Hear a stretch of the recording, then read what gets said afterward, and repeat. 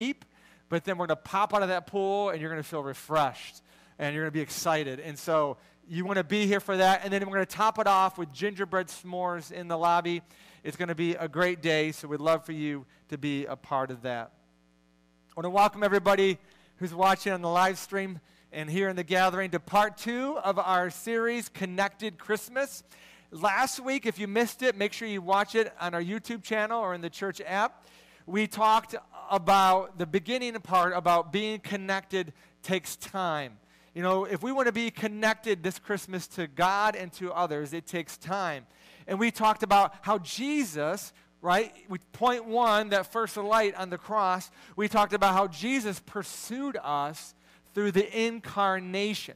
He came and dwelt among us, Emmanuel. And then point two, the second light was how as Jesus pursued us through the incarnation, we're called to pursue others through initiation. And how that as Christ followers, we don't wait, we don't cross our arms and sit in the seat and wait for others to come to us, but we pursue others and take that initiation. And we talk about how it takes investing time over time doesn't happen in one day, it doesn't happen necessarily in one month, and sometimes it doesn't happen in one year, sometimes it doesn't happen in one decade. Right? It takes time over time. Well, this morning for part two, we're going to talk about our talents. If you have your Bibles, you can open them up to Luke chapter 1.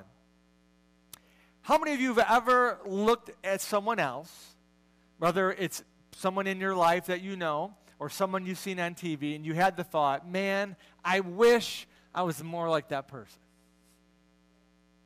I wish I could do what they do. I wish I could have the gifts that they have. And if that's you and you can relate to that and you're here in the gathering, say, uh huh. Okay, awesome. I, I, would say I say uh huh too. If you're online, go ahead and type in uh huh. I think I know how to spell it, but just give it a try. They know what you mean. Uh huh. I think every single one of us has, at some point of our life, struggled with the feelings of insecurity or the feelings of inadequacy. We look at somebody else and what they do and who they are, and we look at ourselves in comparison, and most of the time, the result is inadequacy and insecurities. And if I could be completely transparent with you this morning, this has been something that I've wrestled with uh, most of my entire life you know, the, the reality is the things that you are naturally good at, the things that you are gifted at doing, because you have grown up with that, to you it is not a gift. To you it is common because you are just always done that. And so oftentimes we're blind to the very things that God has gifted us with. And if you add to that, depending on what your skill set or your gifts are, not all gifts are praised the same. For instance, my my gift is I'm very good at talking, I'm very good with people skills. But as a, as a child, that, that gift isn't always praised. For instance, talking in, in class isn't always looked, is, is often frowned upon, especially when your teacher is talking. I remember so many times annoying my family to death because I would not stop talking. I would not give. My brother just said amen. Uh, I, I, I sometimes would not even take a breath, and now I'm reaping what I've sown in my son. I remember, you know, this so much, growing up as a teenager, and uh, one time this one girl came up to me and said, Jeremy, when I get married, I want to be married to someone just like you. And I thought, well, you can't get any better than me than me what, like, what's wrong with me? Why don't you want to connect? Why don't you want to date me? Like, why is there someone else like me? It, it, and I remember I used to love as a kid opening up doors for, um, for people. I just love people, but the gifts and talents I had were not, you know, often praised. And then the ones that were, you know, are athletes, musicians, and people who are really cra- super crafty at things. And I played sports, you know, I love sports, but when I was in high school, my number one sport was bowling. I mean, most people aren't really impressed with that. And uh, there's not too many people clamoring to watch bowling events taking place. Uh, that's why you have the national championship, which makes tons of money for football, but not bowling. But after God captured my heart, uh, and began to move in me. I felt his calling on my life. I went into college, but even there, I still wrestled with that because I began to meet other people who were phenomenal singers and musicians, and they were great orators and speakers, and they had electric personalities, and, and I didn't have you know any any of that, and I would wrestle with insecurities. And, and then I met my wife Julie, and and I loved spending time with her, and, and we would often, um, when we could, travel back to Des Moines, Iowa to see uh, her family. And I remember, you know, one of the trips talking with my father-in-law who's recently passed away. I remember sitting there on the couch telling him something like this. And, and I said, Larry, I do not have any talents or abilities. And I meant it. I felt it. That, that's what I believed. That's what was over my heart. And, and, I, and now that I'm older, I realize that insecurities and inadequacies are a part of our spiritual enemy, Satan's deception of, of destruction in our lives. Because think about it if we believe in the lies of the enemy, we're not believing in God's truth. And if we're not believing in God's truth, we're not walking in his freedom. And if we're not walking in his freedom, then we're often walking in shackles. And and I don't know about you, but I, I just asked, I wondered this question. I said, could it be that part of the reason we struggle with connection is because we're not walking in God's freedom? We're walking in insecurities. And even celebrities who have made it wrestle with this as well. I know she is older, and maybe some of you who are younger may not know she is. Maybe you are. But Madonna um, had this um, interview, and this is what she said. She said, I have so many regrets and I have none. I wish I hadn't done a lot of things, but on the other hand, if I hadn't, I wouldn't be here.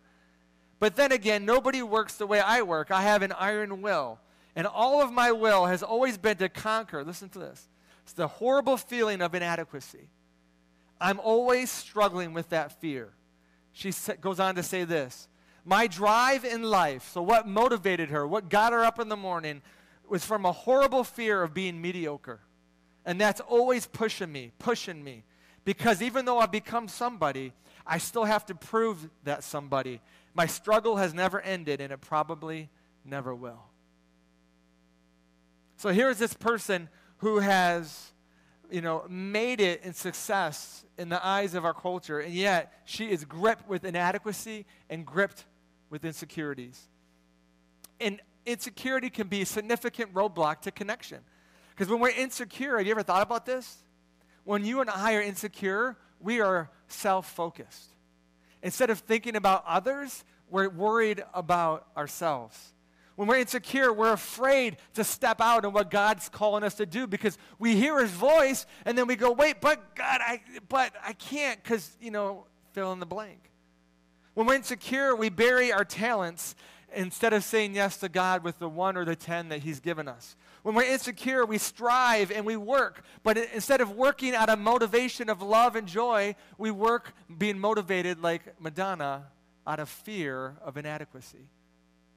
But on the flip side, when we know our worth, when we know our identity in Christ, when we walk in relationship with Him in confidence and say yes we can say yes to Him because we know whatever talents and passions He's given me, whether one or whether a hundred, they're all for His glory. So this morning, if money and accomplishments and people's approvals do not solve the insecurity problem, what does? And does God really use every single person who makes himself available? And could God use me even though I've messed up so many times? Here at Wyandotte Family Church, we have a slogan. It's like the main theme throughout the message. Last week, it was connection takes time. But this morning's slogan, why don't you repeat it with me nice and loud? If you can say, I'm created, equipped, and called by God for his purpose. That was pretty good. That was a good warm up. All right, one more time. Say, I'm created, equipped, and called by God for his purpose. Awesome. And if you're online, go ahead and type that up in the chat as well. We're going to go to Luke chapter 1, verse 26 through 30.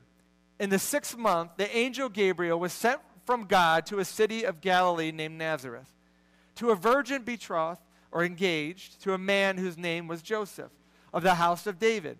And a virgin's name was Mary.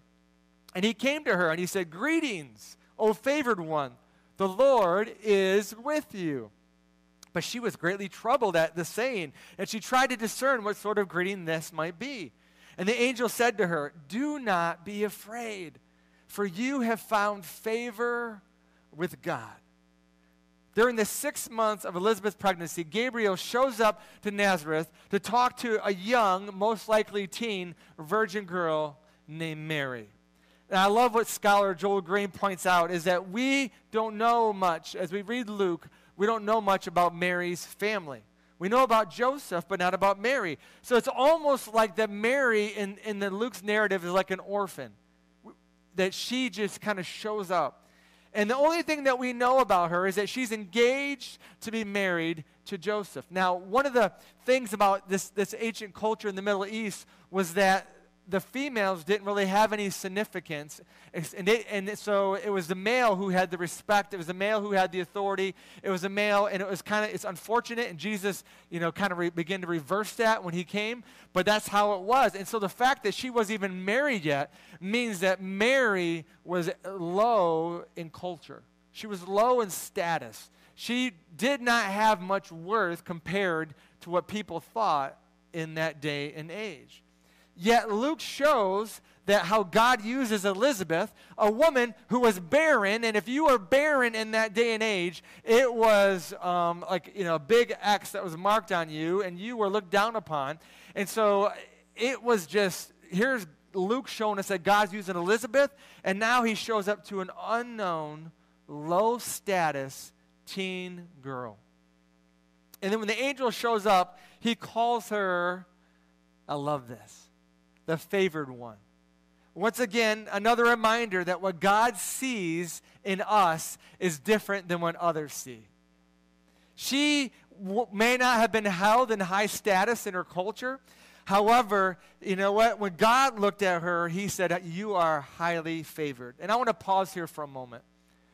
Because maybe others at some point in your life have spoken words of destruction into your life. Maybe they've spoken words to you that have caused a spiral of consumption, of insecurity, and inadequacies. And maybe you have felt like you don't fit in anywhere. You have nothing to offer. Well, I want you to know this morning that God sees something completely different when He looks at you. He sees you as His child, and you are highly favored. And He has given you passions and proficiencies that He is calling you to use for His kingdom. And it goes on in verse 28. It says, Mary was troubled when she heard this, and she was trying to figure out what this greeting meant.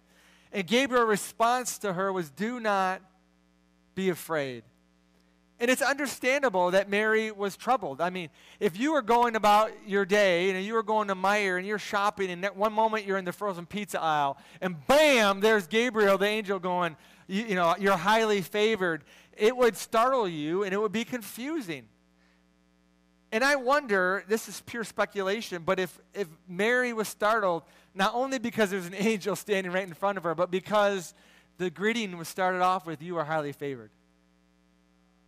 I mean, I mean, Mary could have been thinking, Who am I? I'm this lowly teenager.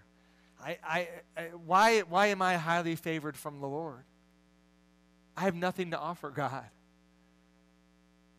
But everyone say, I'm created, equipped, and called by God for his purpose.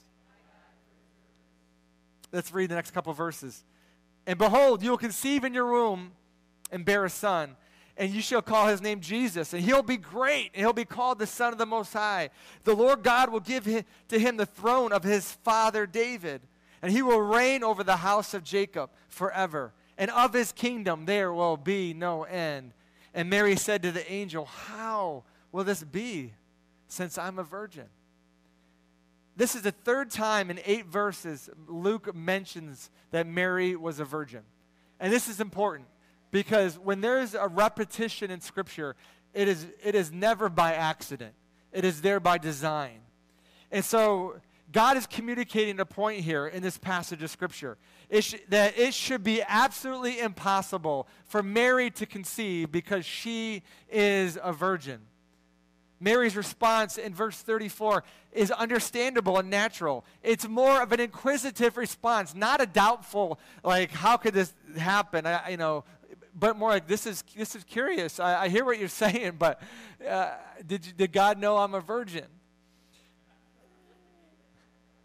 I remember when Julie and I called this to plant a church here in Wyandotte in 2009, um, and, and there were so many things that were tough along the journey. And I remember going, God, how can this be? Like, I hear what you're saying, but God, but how can this be? And maybe you felt that way before too. Maybe you sense God stirring your heart and opening up an opportunity for you or, or beginning to put a passion in your heart for something. And you're going, but God, I don't fill in the blank. Or maybe you've messed up in the past and you're going, God, but I've, I've done too much. Or maybe you come from a broken family. Or maybe you don't have the right resources or the right status or the right support system. Well, I want to show you a verse that's pretty powerful because if that's you, you and I are in good company. Look at 1 Peter 2 4. It's talking about Jesus. It says this 1 Peter 2 4. It says, As you come to him, Jesus, a living um, stone rejected by men, but in the sight of God, this is, he was chosen and precious. Isn't that awesome? Jesus was rejected by many. You know, he didn't have the, the resources, he didn't have the crowd, he didn't, he didn't have all these things, and yet the Lord looked at him because he was chosen and he was precious. And in the same way, you are equipped, created, and called by God for his purpose. Verse 35 continues And an angel answered her, The Holy Spirit will come upon you, and the power of the Most High will overshadow you. Therefore, the child to be born will be called Holy, the Son of God. And behold, your relative Elizabeth, in her old age, has conceived a son, and in this, is in the sixth month with, uh, with her who was called barren. I love that, who was called. Verse 37 for nothing will be impossible with God. Scholar Joel Green points this out as well. He says the point of this passage and this whole dialogue isn't Elizabeth and it isn't Mary, even though God loves them immensely. Even though God elevates their status and shows that God is, oh, wants to use every single one of us, regardless of where we come from and regardless of who we are. But his whole point in this passage is this is that God has been working his plan and his purpose to redeem Israel and ultimately humanity and has come to this culmination moment where Jesus is coming into our world.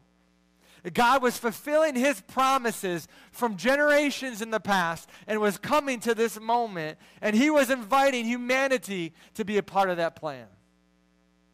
It was going to be the Holy Spirit that was going to make this happen. This is so powerful. I love this when, it, when I was doing the study. Is that when he says to Mary, the Holy Spirit is going to o- come upon you and overshadow you, is the same in the Greek as when Acts 1 8, when Jesus tells his disciples, the Holy Spirit is going to come on you and is going to empower you to be my witness.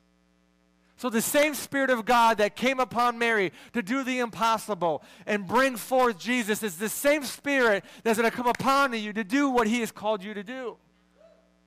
So it doesn't matter what limitations we have, doesn't matter what past we have, it doesn't matter what, what resources or education we have, it doesn't matter what fill in the blank what we don't have. If God calls us to it, His Holy Spirit will empower us to do it. It's kind of like this, this pizza box here. Um, I, I, asked someone to help give me a pizza box. And, and uh, can we give um, Dimitri a round of applause for helping me out here? Thank you for bringing it up here. All right, you can be seated. All right. So I have a pizza box here. Now, how many of you had pizza this past weekend? Raise your hand if you had pizza this past weekend. Okay, see some hands going up. Some, you said it. You're like, uh, I did. Okay. Uh, well, pizza is awesome because, man, when you open it up, Woo, it still smells like pizza. It's good. Um, let's say it's a Saturday and you ordered some pizza. And all of a sudden, you hear the doorbell ring, right? You're getting ready to watch University of Michigan in the playoffs. Uh, so, yep, yep, you're getting ready to watch that game. And And you get up, you run to the door, and the, you open the door, and the pizza delivery boy, or, or uh, specialist, sorry, is, is, is, is holding the pizza in his hand without the box. And the grease is running down their elbow, and you see it dripping. What would you say to that to the delivery specialist? You would, you would say, right, where in the world is the box? Like, I'm not going to eat that. Where is the box?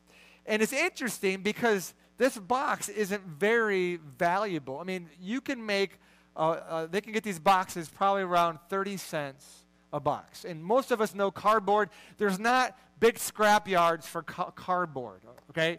There's for metal and different things like that, but uh, cardboard gets recycled. It's not worth very much. But even though it's not worth very much, it's, it's extremely valuable.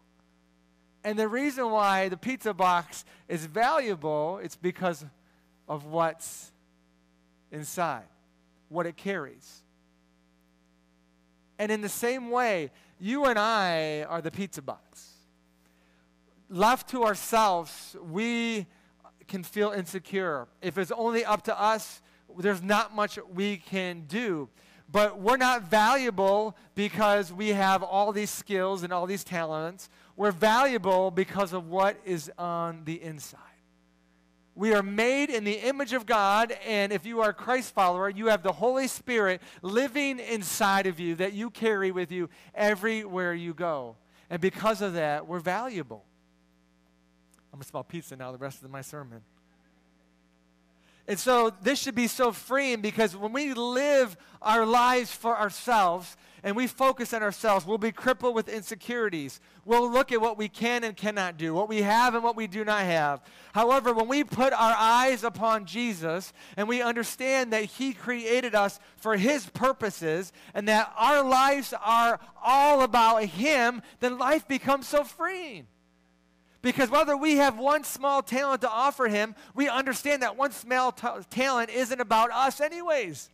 It's about us being invited to this grand story of God redeeming people to himself. And if you happen to have a hundred talents and you could do all this over here, it's not about you either.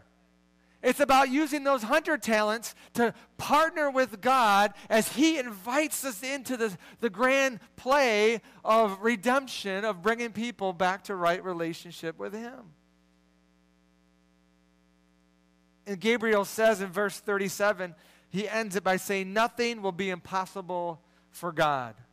He reminds, this is so good, he reminds Mary that God's plans and his purposes do not um, depend upon people's power.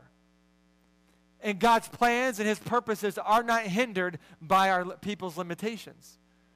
His plans and his purposes will go forth, they will prevail. The question is going to be Am I going to be a part of it?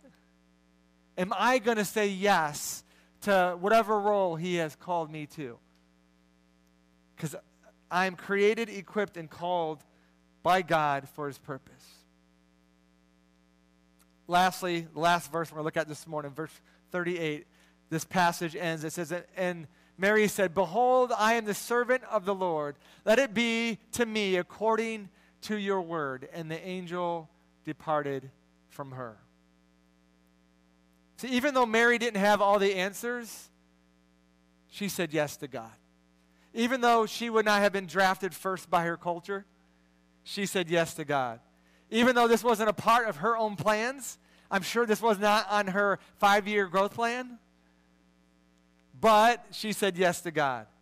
And those who make this shift in their life, if you make this shift where you realize my life is not about me, I was placed on this earth not for me, I was placed on this earth for God. If you can make that shift, then you will say yes whenever God calls your number to the plate. Doesn't matter what it may be or how difficult it may seem, you will say yes, even when it doesn't make sense. Because you say, it's not about me, it's about God. God will always do what he promises he will do and nothing is impossible for him.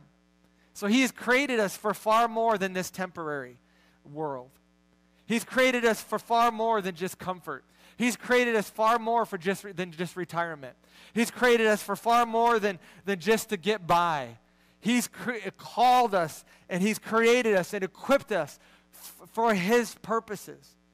So imagine the joys, even in the midst of the challenges, of experiencing the movement of God in and through you as you say yes to Him. Imagine the stories that you will get to share about God's faithfulness if you say yes to Him. Think about it. You and I are here today because Mary said yes to God. So Mary's life has impacted us all these years later, all because she said yes to God. And that same Holy Spirit is in you. If you say yes to God when He calls your number, then others in generations to come will be the benefit as well because you will have partnered in the plan of God and you've been a part of His fulfilling His purposes on earth. I am created, equipped, and called by God for His purpose. Check out this closing video.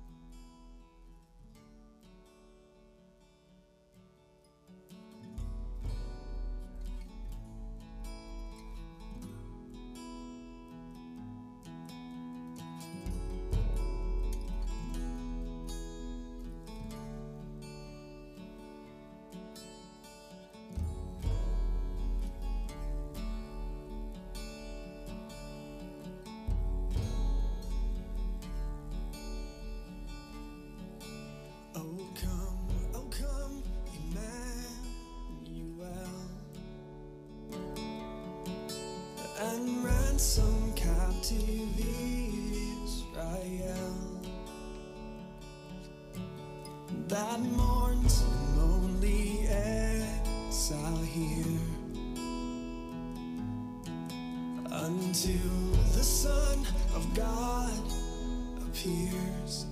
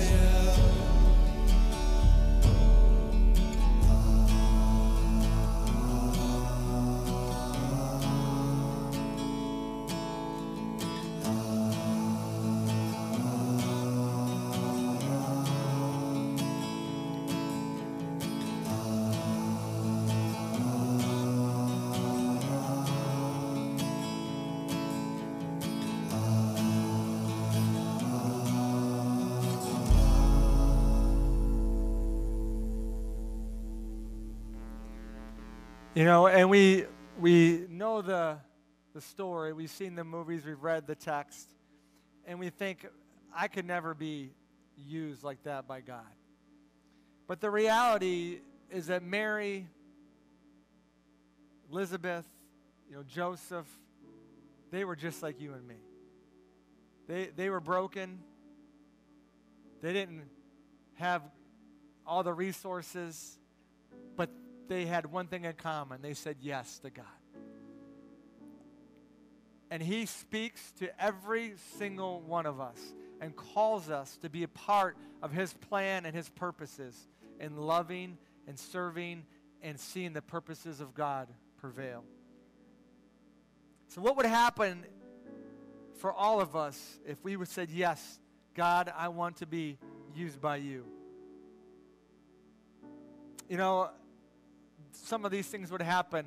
Alan Madeira, last month in November, felt like God nudged him to help coordinate as best as he could to help get um, food and items to needy families for Thanksgiving. And it was so cool because he didn't have the resources, but as he said yes to God, um, go ahead and hit the next slide. You'll see that uh, they end up giving out a whole, um, each of those boxes represented a different family that got turkey, that got um, uh, stuffing and other things. And uh, we're a part of that because Alan said yes. And he's not here this morning, but uh, go ahead and hit the next slide. Is, is he's also felt that um, him and Paul Soborowski together are working on doing the same thing this Christmas. And um, you'll see on the screen, if you want to take a picture of that or write that down, is on the 15th, they're going to uh, meet to go shopping. And this is so cool, is, is uh, the school district every year shares with local churches uh, a list of families that are in need. Um, that are, could use some food, some clothing around the Christmas uh, season. And there's 15 families, and we, we said, hey, we want to help them all. And listen, uh, we said yes. And so our benevolence team started having conversations, and without even hunting it down, we had a, a thriving organization um, donate $250 gift card. And without even hunting it down, we received $800 from Meijer um, towards this, project. And so we have over $1,000 to go shopping for these families. And we have also our own benevolence resources. So we can now provide food, um, some maybe coats or shoes, and uh, toys. And so if you want to be a part of that, um, you could go ahead and write that down, and there is Alan's number as well. And Paul Seborowski, who's on our benevolence team, is working with Alan. And uh, all that happened just because of a simple yes. Just saying yes. I think about um, our, our facility team, and this is so funny because I have I was giving this to Alan Madeira, um, let him know I was proud of him, and, and be a reminder to keep saying yes to God. And he's not here. And then Dan Madigan, who's our facility um, uh, leader, um, is not here this morning. He's always here. And so I'm going to ask Ron St. Charles if you can uh, give Ron St. Charles a round of applause. If you come up here real quick, representing, he's our co-leader. He uh, represents our facility team, but we have Ronald St. Charles, Dan Madigan, Al Mast, Larry Chalette, Ron Dabowski, uh, Joe Gorky, and others, um, you know, John Oates, who have helped on the facility team. And uh, you're going to see up here is we are getting super close to finishing our, our new children's classrooms. It has been, uh, we're going to have a party of all parties when these classrooms open up. Um, and uh, they are uh, getting super close. We just had um, Guillaume Missler here this past week, um, putting in the heating and, and, cool, uh, and cooling uh, registers and ductwork in so we can get the registers in and get that set. And then we can finish uh, the drop ceiling. Go ahead and hit the next slide. Um, that's the hallway, and then that door that is going to become opened up into the treehouse room. So that will become a hallway entered from the treehouse room. So, and those glass that you see there are so you can look in on your kids, but your kids can't see you. Isn't that beautiful? And so for the people who have little ones, they won't, you know, when they see mama, ah, right? They start losing it. And so um, listen to this. This is so cool. And I, I mean this from the bottom of my heart. There are going to be children that grow up to know about the love of Jesus Christ because you said yes. That's right. You and your team said yes. I know there's a lot of Tuesdays where you're like, man, it's been a rough day at work. It'd be easier to go home. But you said yes, and there's going to be children that learn about Jesus Christ because of you and your team. And uh, we have this ornament that you can hang on your tree, and it's just a Savior is born. And, and our prayer is that um, this is just a reminder to continue to say yes to, to Him whenever He calls your name. So we love you guys. Yeah, yeah, yeah. I think about, and now Michelle is actually in the back right now working with our children, but I think about Operation Christmas Child. Is there are 142 children that are going to receive a presentation of the gospel of Jesus Christ.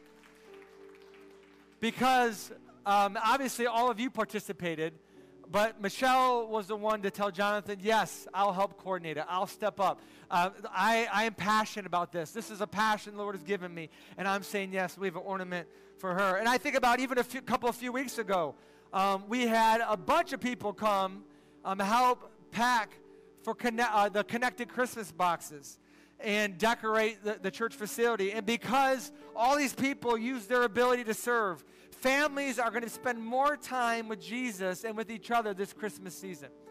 And there's going to be some that might even do this and go, hey, why don't we continue to do something like this all year around? Why don't we memorize verses and why don't we do crafts and spend time together and seek Jesus together? And this happens because some of you said, yes. Yes, I'll do it. Yeah, I know it's not convenient, but yes.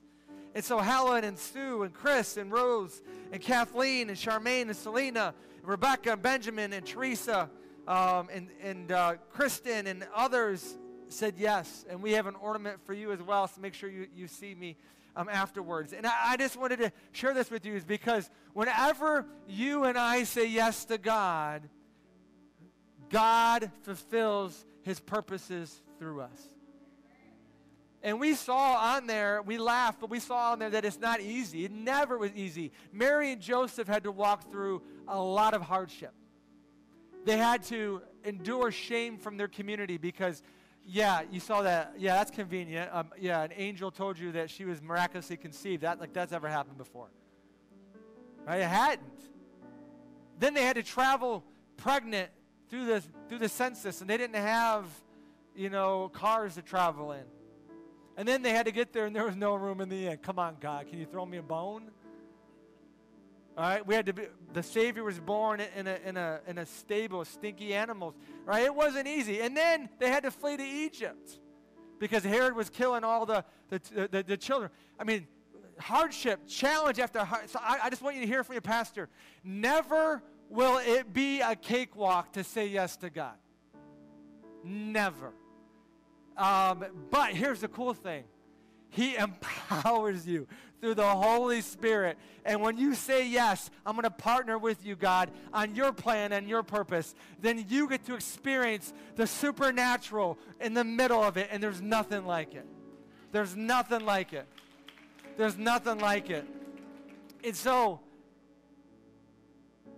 the slogan for today is I am created, equipped, and called by God for his purpose. Every single one of us, regardless of where we come from. If you could bow your heads and close your eyes as we wrap up the gathering today. And if you have never crossed the line into a relationship with Jesus, this would be the best season to do it. We celebrate Christmas because a baby was born, not just a baby, but the Son of God, born so he could live his life and die on the cross. But not just any cross. I mean, not just to die on the cross, but he died so he could rise again. And he did. He rose again on that third day. And if you read the book of Acts, which we're going to this next year, you'll see time and time again talks about his resurrection, his resurrection, his resurrection, because because of the resurrection, that sets him apart from everybody else. He is Lord. He died and he rose again, and he's coming again for his children. And if you would like to be a part of the family of Jesus, will you pray with me? Just simply agree with me in your heart and just say, God, I want to be yours. I give you my life and my lifetime. I trust that you are who you say you are, that you are God, that you died and you rose again, and that you are coming again. And I want to be a part of your family. In Jesus' name.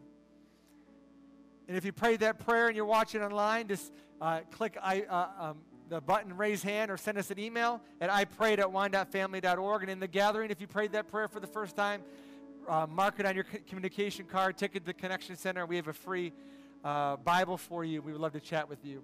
And here's a challenge for every single one of us is here in about 10 minutes, every single person who has the church app is going to get a notification with a link. It's also going to be in the weekly email that gets sent out every week from, from um, Jonathan. As well, it's going to be posted on our Facebook page. And so we're, do, we're going to blast it out. It's going to be a link to um, called the Shape Assessment. And what it's supposed to help us to do is discover what our three P's are our, our pain, what, what, are we, what breaks our heart, our passions, what are we passionate about, and our proficiencies, what are, what are our talents, what are our skills and help us uh, d- uh, d- discover that. And so I want to encourage everybody this week in the next seven days to take that assessment. And um, it's about a half an hour long.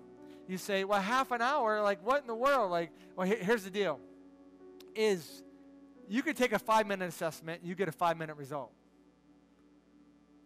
Anything of life, of value, it, it takes work.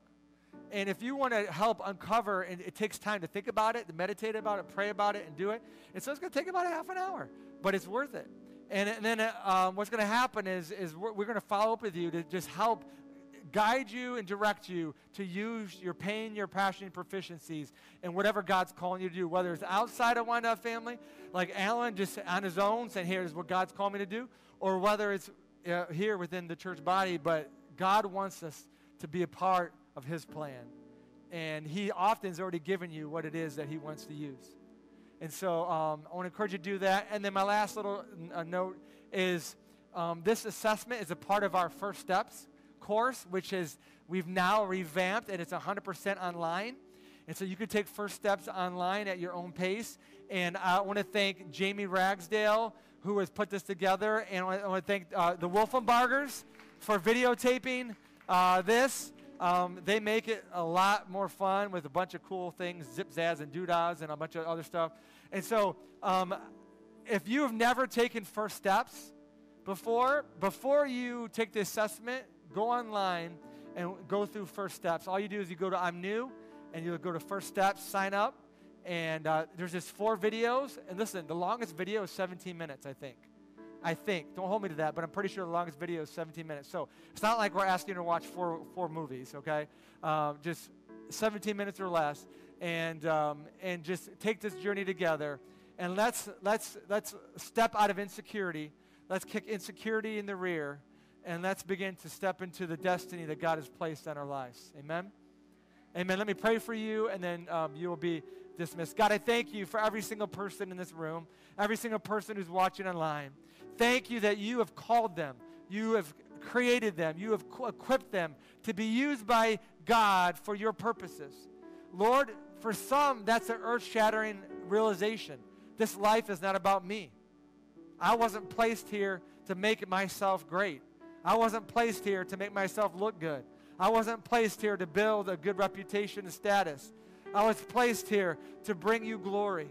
God, that's my number one purpose is to worship you, to know you, to live for you. And God, I pray that the gifts and talents that we have, Lord, the passions that we have, God, that we will be consumed with a desire to use them for your kingdom and for your glory. God, that you would begin to shift and bring freedom in our hearts from inadequacy and insecurity. And God, that we won't worry about comparing ourselves to anybody else, but we would fix our eyes upon you. And that whatever you call us to do, God, we will say yes. Because when we say yes, there are going to be people added to your kingdom. When we say yes to you, people are going to be healed. When we say yes to you, people are going to be uh, encountering your love and your forgiveness, God.